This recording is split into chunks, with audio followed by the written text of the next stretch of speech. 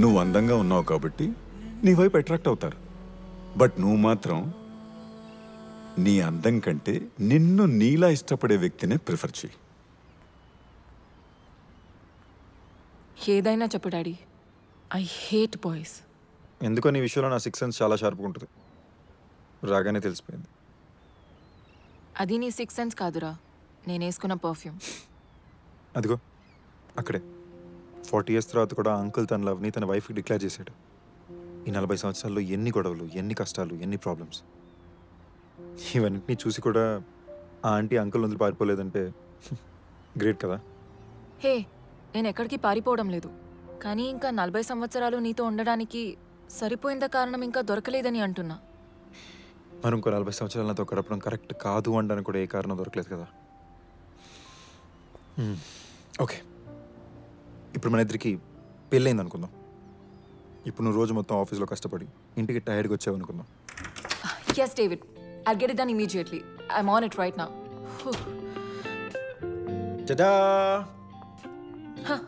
నేను రోజు ఎంత పని చేసి వస్తే నువ్వు కూర్చుని తింటున్నావా?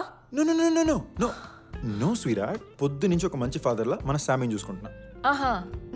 కానీ నీకొక గుడ్ న్యూస్ చెప్పనా? మనకింకా పెళ్ళి కాలేదు. కూతురు కూడా లేదు. ఓయ్. మన కూతురు నేను చేసేవే?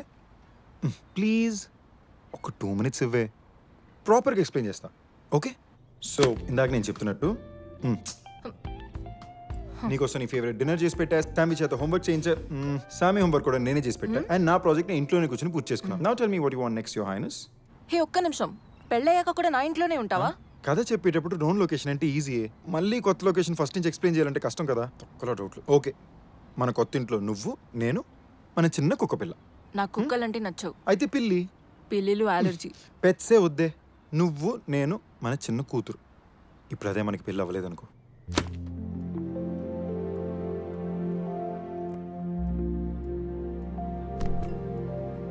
వాట్ రబిష్ నిన్ను చేసుకోకపోతే అసలు నాకు పెళ్ళి అవ్వదా? ఒక్కసారి సరిగ్గా చూడవే. అది నువ్వు కాదు. నేను.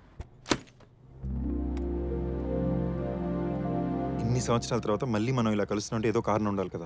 మన ఇద్దరికి ఎప్పుడు సెట్ అవ్వదని అర్థం చేసుకోవడానికి. నీకు నాతో అండ్ నాకు నీతో తప్ప ఇంకెవరికి సెట్ అవుతుందని అర్థం చేసుకోవడానికి. లేదా నువ్వు ఇంతసేపు ఇక్కడ ఉండవు.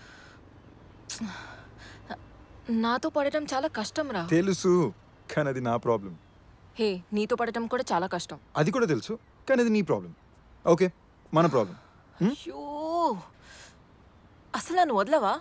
మినిమం ఫార్టీ ఇయర్స్ దాకా అస్సలు వదలను. కానీ ఒకసారి వదిలేసావు. సారీ నేను చేసిన తప్పులు ఎప్పుడు రిపీట్ చేయను. కొత్త తప్పులు చేస్తానేమో? Okay okay sorry.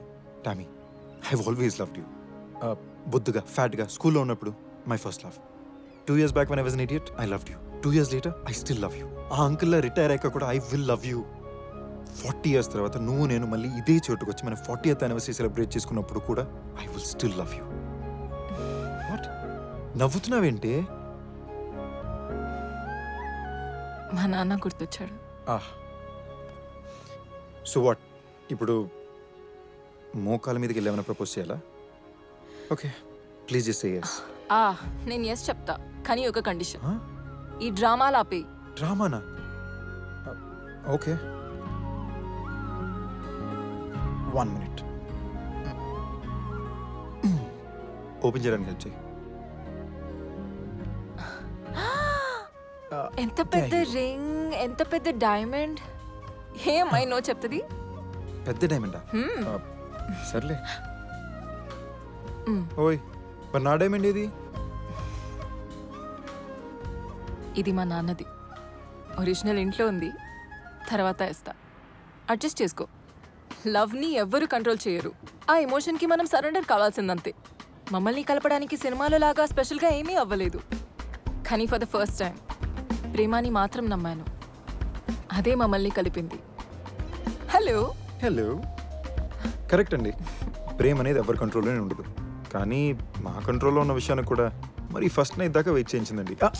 But you know what? ఇన్నాళ్ళు వెయిట్ చేయించినందుకు తనకి చాలా విషయాలు బాగానే తెలుసు. Hey hello. అందరూ ముందు అలా ఎలా చెప్తావు? అరే నీ లైఫ్ స్టోరీ మొత్తం వాళ్ళకి చెప్పావు. ఇది చెప్తే తప్పేంటి? అది నా లైఫ్. నేను చెప్తే ఓకే నువ్వు చెప్పకూడదు. రైట్. నీ లైఫ్ నీ డిసిషన్స్ నీ ఇష్టం. అంతేగా? ఎగ్జాక్ట్లీ ఇలాంటి చెత్త లాజిక్స్ నీకు ఎవరు నేర్పించారు బంగారం? ఇవి చెత్త లాజిక్లో కాదు. పైగా అది చెప్పిన వాళ్ళు చాలా కూల్ మనిషి. ఓహో. ఇప్పుడు నా కాంపిటీషన్ ఎవరు? ఆయనతో ఎవరు పోటీ పడలేరు. నువ్వు కూడా. Wait. ప్రతిసారి ఓడిపోతావు. మీ నాన్న. అవును. ఆయన కలిసి ఉంటే బాగుండు. నాకు కూడా అదే అనిపించింది. నన్ను కలిసావుగా? అతన్ని కలిసినట్టే. యునో వాట్ టామీ నువ్వు ఈ మాట నాక ఎందుకో నువ్వు అంత అట్రాక్టివ్గా అనిపించట్లా. అవునా? Hmm. బాయ్. నో. మళ్ళీ అవునా? నేను అట్రాక్టివ్ కాదా? మరి ఎవరు?